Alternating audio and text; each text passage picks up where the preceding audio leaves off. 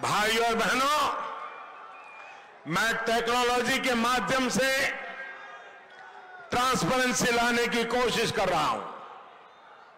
नए कानून बनाकर, पुराने कानून खत्म करके सिस्टम में जो कमियाँ हैं, उसे दूर करने का प्रयास कर रहा हूँ।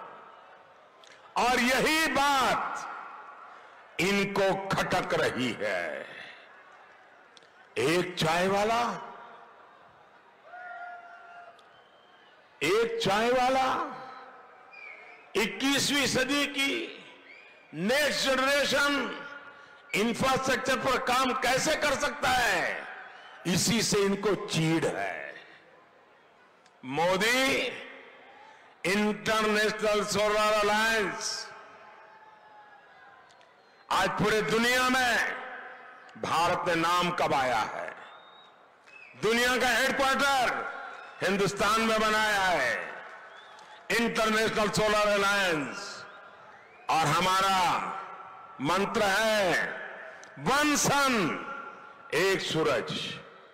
One sun one world one grid इस विजन की बात ये चाय वाला कैसे कर सकता है? इन बातों से इनको चीड़ है।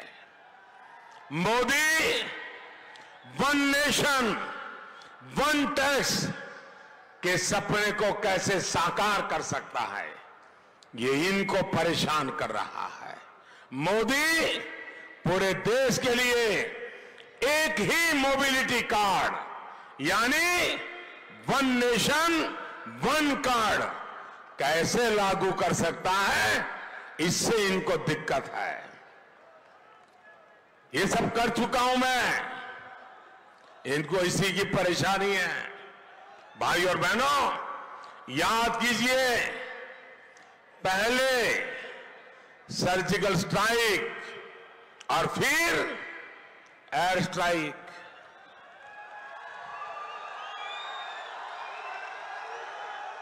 सर्जिकल स्ट्राइक और एयर स्ट्राइक को लेकर इन्होंने कैसे कैसे सवाल उठाए थे।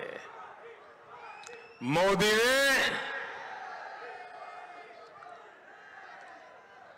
मोदी ने आतंकवादियों को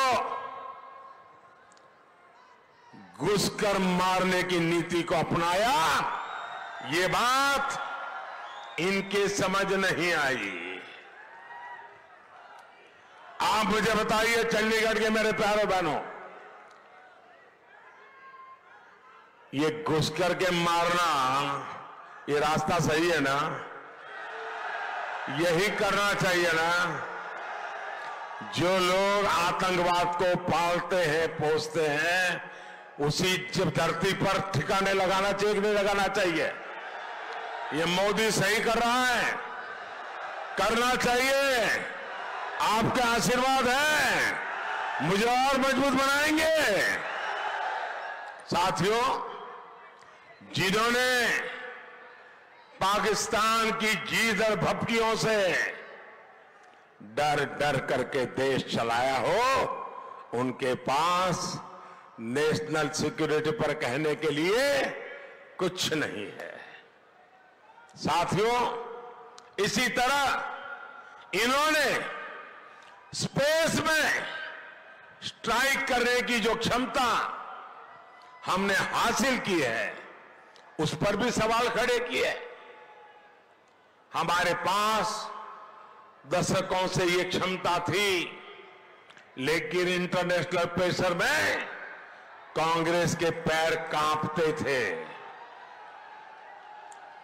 भाई और बहनों, आज मोबाइल से लेकर मिसाइल तक,